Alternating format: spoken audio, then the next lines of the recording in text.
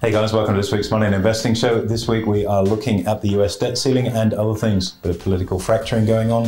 Of course, we've got a presidential uh, candidacy race about to commence and global uncertainty. All important things that can affect markets. So make sure you take plenty of notes, but as always, do make sure you take plenty of action. Hey guys, welcome to the Swiss Money and Investing Show with me, your host Andrew Baxter, and as always, my off-sider and co-host Mitch Olarenshaw. Good to be here, Mr. Baxter. Thank you very much for having me. Now, as traders of the stock market that we are, we absolutely love uncertainty. I'm only kidding. We hate uncertainty, of course, long does the entire market. However, there's plenty of it at the moment. And in particular, when we talk about the US, plenty of political challenges as well as economic challenges, which we're going to dive into today. Indeed, there's a lot going on, and I think you know we're in for some volatile times. I think there's trouble coming over the hill, and I hate to be the boy that cried wolf. Um, that's not my mo, and it's certainly not fear mongering either. It's a, I think a lack of acknowledgement from markets as we've seen all year, uh, as to some of the risks that sit out there in the in the world of unknown, uh, and the uh, the impact that they can most certainly have on what is still you know a reasonably overpriced equity market. It's a bit of a weird situation at the moment, totally. Mm. And there's probably one headline that comes to mind first and foremost for me that's been dominating in the last few weeks, and that's the U.S. debt ceiling. Mm. Not the first time we've been here as a point of note. But what are your thoughts on the current situation? Look, I mean, it's a shambles, uh, and um, I know we've spoken previously that you know governments you've got to try and measure your budget in and, and, balance it out. Well, that's all gone out the window. We'll just print some more money, uh, and it doesn't matter. Somebody else will be paying. Uh, and, and, yeah, it's a it's a requirement by uh, constitution in the U.S. If the U.S. wants to increase the level of government debt that it carries, it has to go through Congress. And Congress at the moment is controlled by the Republicans. Uh, they've uh, they've had a, a, new speaker that was appointed, you know, only a number of weeks ago. Very difficult job getting appointed as speaker. And, and, and let me be really clear: Speaker of the House in the U.S. is a very very significant significant role. Uh, it's actually the third most per- powerful person in terms of public office in, in, in the US after the president, and vice president. So it's a significant role. The incumbent took a real job, uh, you know, a lot of backdoor deals to get across the line and get in, uh, uh and uh, and that all really came unravelled this week. Um, and uh, he's been pulled aside and stood down, and there's a lot of political infighting going on, and and, and this is at a time when you've got an economy which has been sailing along beautifully. The Fed have done an incredible job of, dare I say, threading the needle. Um, it's not even a soft landing. It's a it's a it's no a, landing it's at all. Almost, it's almost this sort of language is almost sort of Donald Trump esque, but it's it's been a beautiful it's a beautiful outcome for the uh, uh, for the economy so far. And this is the sort of thing that can derail it because yeah, if if there is a government sh- shutdown because there's no money to pay wages, and this has happened before. This isn't something that's out of left field. Um, you know, about 0.2% per week off GDP. So it's something you want to get resolved fairly quickly because it does impact on, on the economy. 0.2% per week, when you look at the scale of the actual dollars of what that would be, that would be trillions of dollars per week, right? Shaped off the economy is, is, is substantial. So something needs to get sorted out. And how do you sort it out? To just roll over and go, okay, let's get into a bit of horse trading. Uh, you give us this and we'll do that or, or do you finally grab it by the scruff of the neck and go, this whole economic policy of, of, of, just printing more money to provide more subsidy and ineffective use of capital has to stop? Um, you know, who's the person to do that? I don't know. I don't think anyone's really put their hand up to to, to show who they are. Uh, and it's a it's a millstone now. It also calls into question, of course, you know, the U.S. dollar uh, in its current role as the world's U.S. reserve, uh, the world's reserve currency. What's its future look like when it's just oh, we'll just keep printing more money? Who are you going to sell the bonds to? I mean, yields are reasonably high, so they're quite attractive right now, five percent for two years. But who's a buyer? Who wants to be long US dollars when you've got an exchange rate that's relatively strong, certainly as against the Aussie? You've also got interest rates that have risen, but they're probably not going to be going up. I don't know if they're going to be going up any further. They're probably staying where they're at. Yeah. Um, but what's the driver then for, for further strength in the US dollar? So you end up buying an asset that's you know quite possibly a depreciating currency. Not the smartest move. So you know that, that's a major factor. It'll get pushed through. There'll be a trade off in some way, shape, or form. Uh, but it just sort of really highlights the the fiasco, I think, is probably the best term to describe, you know, the U.S. political environment right now. Uh, and we haven't even started the, the, the, the, comedy of comedies, which is, of course, the uh, the presidential race, which starts in November. Well, can we talk to that now, AB? Mm. So, US debt ceiling, it's likely that they'll they'll raise that as they always do for the mm. most part. In terms of picking a candidate to run the well, free world, I mean, if you've got an opportunity to pull the chain on an incumbent president who's been demonstrably useless across most metrics. This is because the Republicans have the control of Congress, right? Mm, they do, but they're arguing with each other. So rather right. than shining a light on the inadequacies of the current current presidency and administration. Now all the highlight is, of course, on the infighting within the Republican Party. So it's a real step up from a political perspective. But you know, do you pull the chain and go enough's enough? This this flawed economic policy of having an open border, um, of forgiving student debt um, of, of, of, introducing things like the Inflation Reduction Act by depleting your strategic reserves of petroleum, only to see oil prices almost double uh, from what you were expecting to have to buy it back at. Uh, it makes no sense. And, you know, do you just accept that there is no sense to what's going on and just roll with it? Or do you go, this is enough, we've got to pull it back? It's also going to affect aid for countries like the Ukraine. Um, you know, and at a time when we've got, you know, really massive, I'm sure we'll talk about this, really massive um, uncertainty from a geopolitical perspective. You know, the war in Ukraine now is 18 months in, uh, but now we're seeing things, for example, in Israel uh, uh, with uh, with uh, the Gaza Strip attacks uh, over the weekend, or you know, in Bosnia, we've got some some tension there. So it's not a it's not a steady ship right now. Which, yeah, I don't know, interesting time. It's going to take a pretty good captain to steward that. So if we talk about presidential election, because this is this this almost makes me laugh. It's quite funny. Uh, in terms of the candidates, we could be seeing a return of former President Donald Trump versus now Joe Biden or Kamala Harris. Mm. What's your thoughts on where that could lead? Yeah, it's not exactly sort of Tyson Holyfield too, is no. it? It's, uh, it's uh, blind leading the blind. It's it's a, a, very very sad indictment of things, and and you know, you've got a, an incumbent president, and normally people don't run against the incumbent president, but given given the demonstrable lack of mental acuity that, that President Biden's suffering with, and probably was before he was elected, in all fairness, and, and that's not really offset or counterbalanced by a vice president that's capable of much other than giggling, um, you know, the door's got to be open to somebody else to step in there. Uh, and, and, this is actually an interesting story. Uh, I'm not one for conspiracy theorists uh, type stuff at all. Um, RFK, so Robert Kennedy's son, RFK Jr., uh, the nephew of John F. Kennedy, of course, president was assassinated. Um, he's running. He's polling quite strongly. I think 18% were the numbers he was pulling down.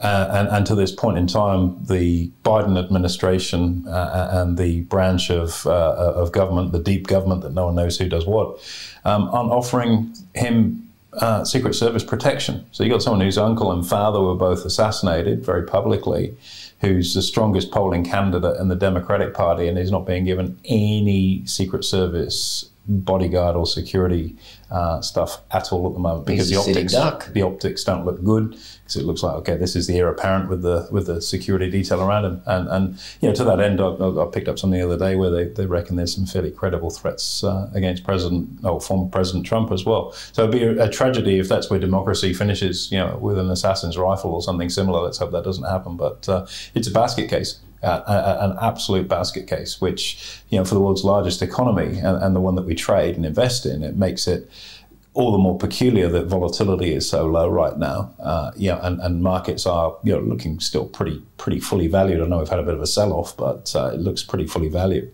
So politically speaking, we're dealing with the US debt ceiling as well as fractured parties and, and a lot of trouble there.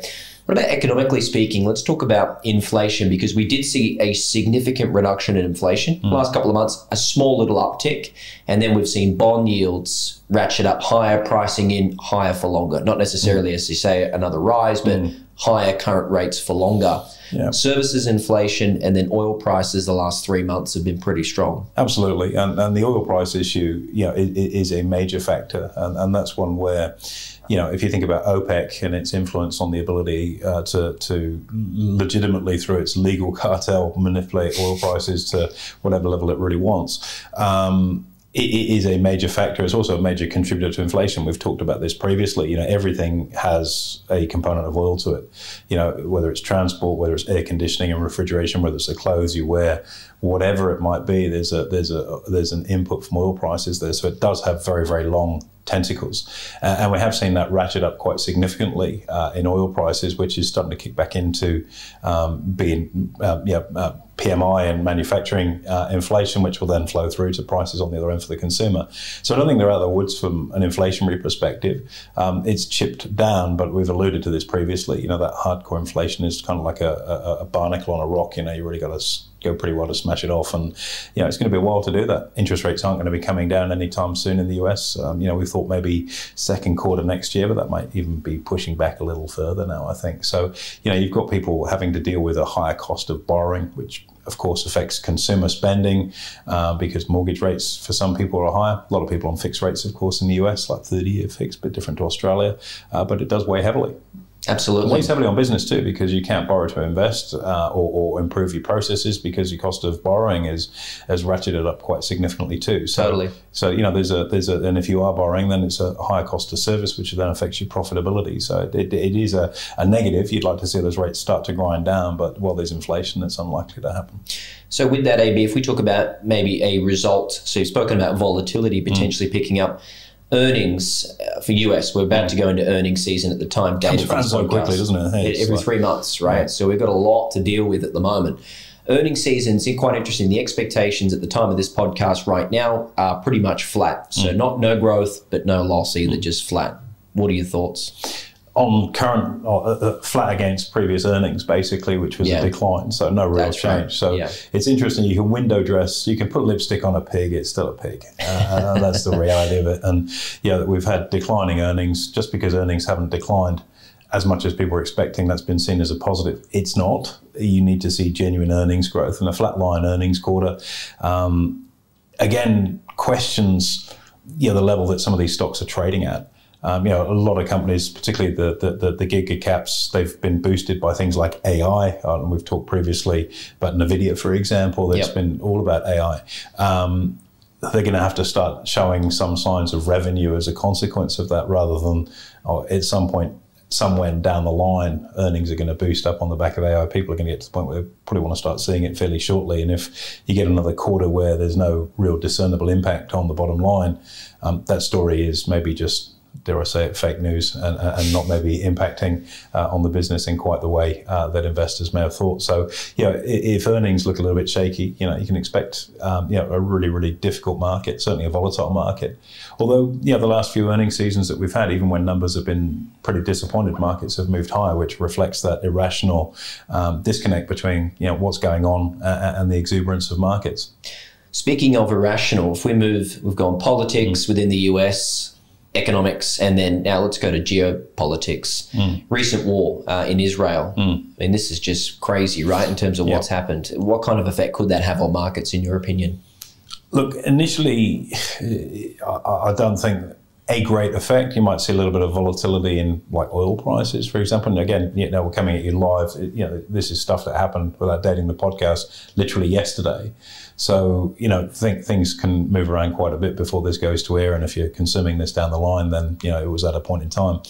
Yeah, I think we saw we'll, we'll, see a little bit of a move in oil prices always because it's Middle East risk on, uh, and you might see a little bit of a, a, push higher in oil prices there, which again not great for the US from an inflationary perspective. That's right, or the rest of the world for that um, matter but I think you know Israel's a fairly small part of the global economy, as is Palestine. So you know having a crack at each other on that level, um, I don't think it's going to be any any major impact economically. Where it starts to get more serious is if this is more prolonged or there become further sustained attacks down the line, and then the bigger nations, the US backstops uh, Israel, which is more than likely to happen, um, and then things have got the capacity to go the other way because you might have other Middle Eastern countries which are then siding with Palestine, and, and, and, all of a sudden everything is back to the topsy turvy.